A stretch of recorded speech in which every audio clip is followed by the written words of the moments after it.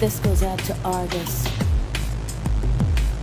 I went on the website to order an oven.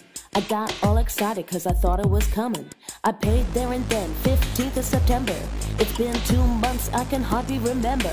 They said it would be here on October the 8th. I got my chicken Kiev's life was great, but they sent a cancellation to my phone. On the 12th of October, it'll be in your home. So I put my chicken Kiev's in the freezer, thinking of my meal and feeling eager. But they canceled again the day before. Had to go and get some microwave meals from the store. I was walking around in a hungry daze, said I'd hear from the carrier in a couple of days. Are you surprised that I heard nothing? Argos. Where's my oven? Where's my oven? Where's my oven? Where's my oven? Where's my oven? Where's my oven? Where's my oven? Where's my oven? I got sick of waiting, so I went to the store and complained to the manager on the floor. He couldn't believe what had happened to me, so he made a call or two or three. He sent home to wait on a call, and I waited and I waited, heard nothing at all.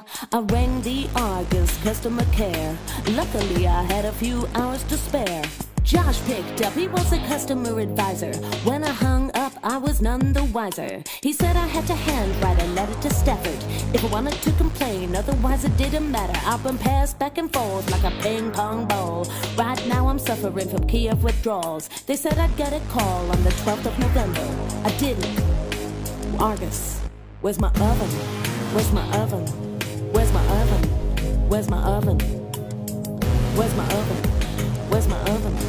Where's my oven? Where's my oven? Where's my oven? Where's my oven? Where's my oven? Where's my oven? Where's my oven? Where's my oven? Where's my oven? Argos. Where's my oven? Where's my oven? Where's my oven? Where's my oven? Where's my oven? Where's my oven? Where's my oven?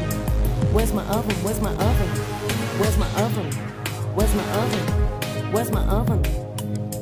Where's my oven? Where's my oven? Where's my oven? Argos, where's my oven?